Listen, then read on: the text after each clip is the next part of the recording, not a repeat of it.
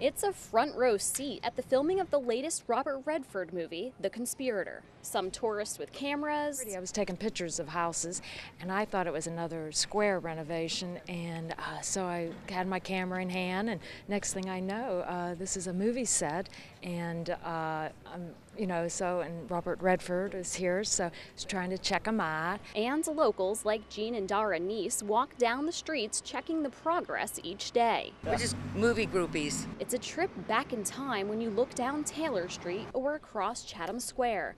Cobblestones and pavement covered in dirt and actors dressed in Civil War attire. The fact that we live right here on Taylor Street makes it even more interesting for us. And I, uh, I, I love the idea. and I love the set that they've made.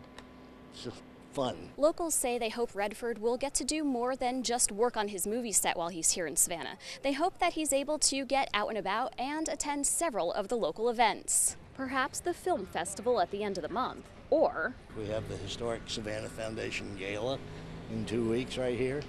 I hope he's getting invitations to these things. Invitations or not, neighbors are showing that Redford cast and crew are more than welcome in the hostess city of the South. I think it's wonderful. It's exciting. I can't wait to see the movie. Randy Hempel, WSAV News 3.